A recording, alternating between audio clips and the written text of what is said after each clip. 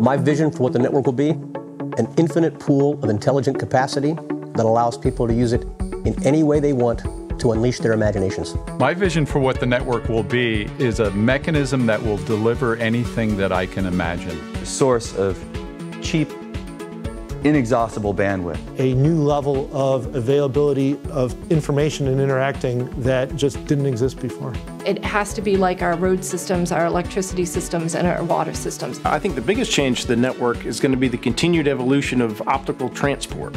And that's going to create an infrastructure that application developers and companies can take advantage of in order to deliver you know, things that we can't even imagine. What it means for education, what it means for medicine, what it means for how we interact with people, um, how countries interact with people. Being able to connect more people globally and bring their ideas together, it, it's going to lead to incredible things. We really see the network of the future continuing its evolution to add intelligence into the system. It can help us improve our health. It can help connect us as humans. And if you really open up your mind, what the network can do for you is just endless.